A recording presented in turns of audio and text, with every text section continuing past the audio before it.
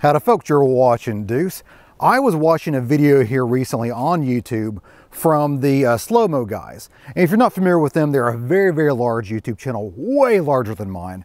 And what they do is they have these incredibly expensive and high-tech slow motion cameras, and they capture the world in weird scenarios and then slow it way down so we can see exactly what's going on. It's a very cool channel.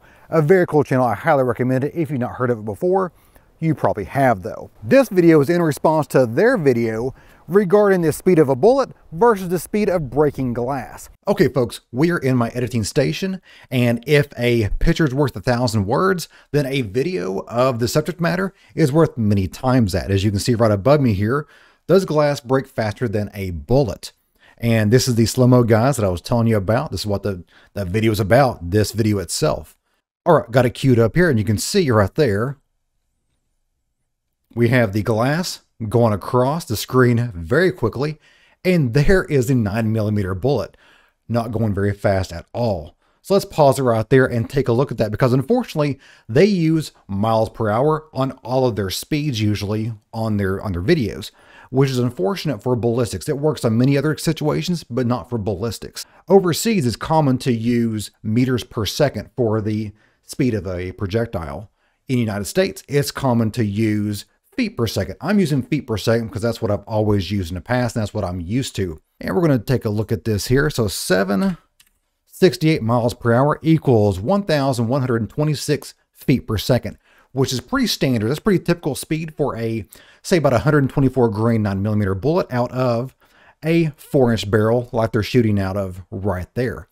And now the glass is breaking at 3,200 and 14 miles per hour, which equals a crazy 4,713 feet per second.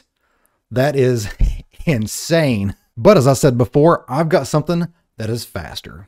The theory is that the speed of the glass breaking is traveling at the speed of sound through the glass because the denser a medium is, the faster sound flows through it.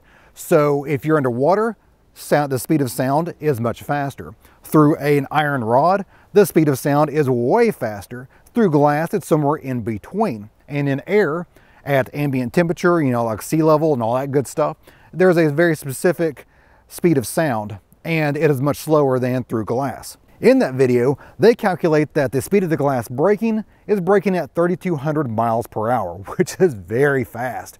If you do the calculation involved with that, that comes out to about 4,700 feet per second, which again is very fast. And they hypothesized that there was not a bullet that is commonly available that can keep up with the speed of glass breaking. But I think I do have one here. The AM32 is a German training round that has a plastic bullet and it is super, super fast. This is a 762 by 51, uh, 308 if you want to call it that. But 762 by 51 ammo.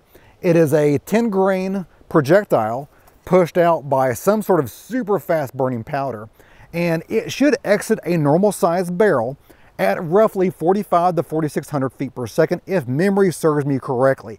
It's been a couple of years since I've shot this over the chronograph, but we're gonna do that today as proof. And just to show my setup here real quick, turn around here, there is my chronograph right there, and it will be recording on my phone. There we go. I'll be recording on my phone. It's a Caldwell chronograph. They work great.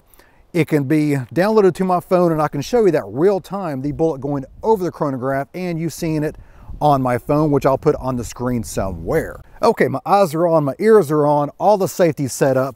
First of all, we're gonna get a baseline with some standard grade nine millimeter, nothing special, but we'll be able to see what that looks like through the chronograph and emulate what they found on their video. 1200 feet per second. Very good. That's about what they found on their video as well. And now the blue ammo, the AM32 training ammo from Germany. Make sure I'm getting the light here there and get it nicely lined up here.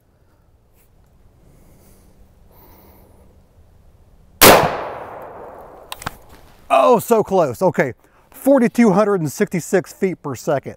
So it's not quite up to the scale of 4,700 feet per second, but way, way closer.